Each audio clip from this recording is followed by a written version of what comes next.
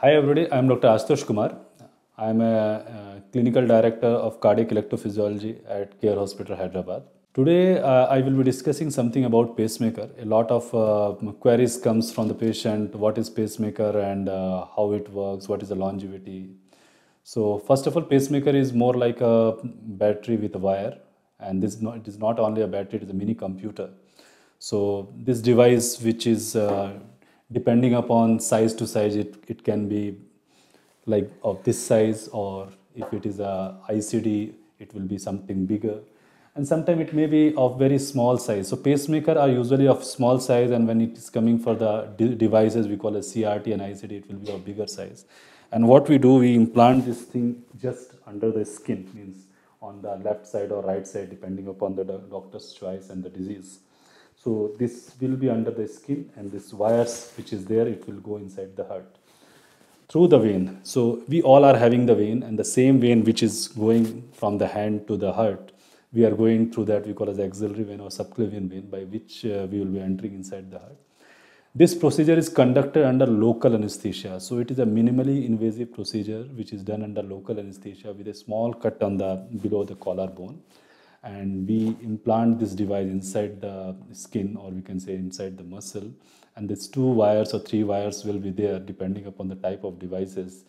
It will be positioned inside the heart and we just uh, position at a particular location so that the battery drain should be less so we call say the appropriate position in the right chamber or upper and lower and sometime on the left side also now coming to the what is the uh, life of the device? So device uh, is having some battery lithium batteries are there and it works from 8 to 10 years sometimes 12 and 15 years also.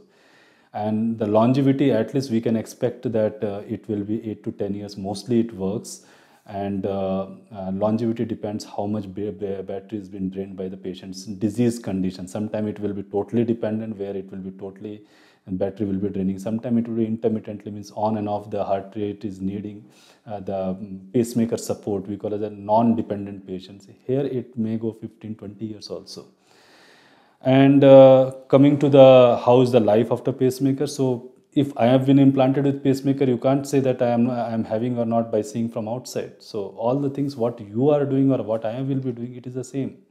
There is a, there is a minor restriction we can say on the side of implant that person should not lift the arm above the shoulder as much as possible and wherever the high magnetic tension wires are there they should avoid. And if they are doing the job in which there are a lot of electrical problems electrical things or source uh, uh, electrical shock can come those things has to be avoided as much as possible.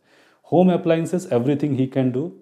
And there is nothing uh, much about the pacemakers. The size has been reduced very much. There are some pacemaker in which you can implant inside the heart and there is no wires from the outside. We call it the leadless pacemaker Devices come with the two types, one is the MRI versus non-MRI. Most of the devices now in the, available in the, the MRI means you can do the MRI with those devices.